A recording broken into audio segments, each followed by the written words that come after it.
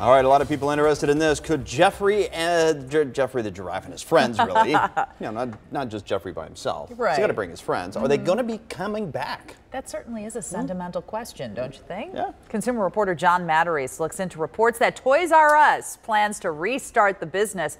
But first, news about a Kroger candy sale. John.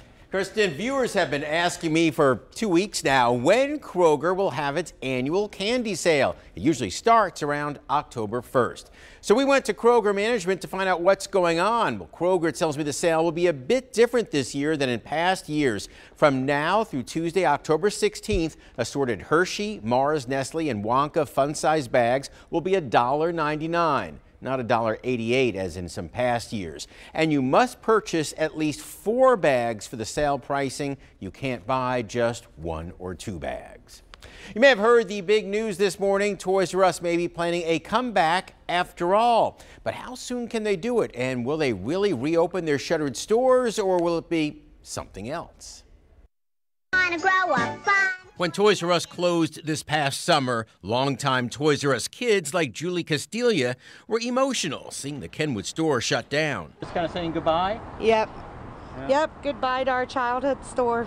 But suddenly there's a glimmer of hope. The owners of the company's name and remaining assets, Geoffrey LLC, have just canceled an auction, and now they're looking into restarting the business. In a brief statement, the company said they hope to create new domestic retail operating businesses under the Toys R Us and Babies R Us names. What could that mean? Retail analysts say it could lead to reopening some shuttered stores or opening small pop up stores inside other stores, such as Walmart, Kohl's, or Macy's, or becoming an online only business, which is what happened to Circuit City. However, nothing will happen this holiday season, leaving tri state moms and dads wondering where to go for their children's toys this fall. Where do you think you're going to shop this year? Uh, probably Target and Amazon, maybe mm-hmm. Walmart. Mm-hmm. We'll see but none of them will be able to fully replace the experience of the world's largest toy store, which is why it's possible Geoffrey and his friends just may be coming back. Yes, it sure would be great to have Toys R Us back, but it's very unlikely to happen this holiday season. So what are parents supposed to do? Well, I hope you can join me tonight at 11 as I look at the toy store wars that are starting between Target and Walmart and some other stores that are building up their toy selections right now. Other stores are doing it as well. So where will you find the biggest selection and the lowest prices this year? Join me tonight at 11 p.m. on 9 on your side. Finally, it's You Win Wednesday, and tomorrow, oh yes, it's one of those made-up holidays that I often talk about and make fun of. Tomorrow, October 4th, do you know what it is?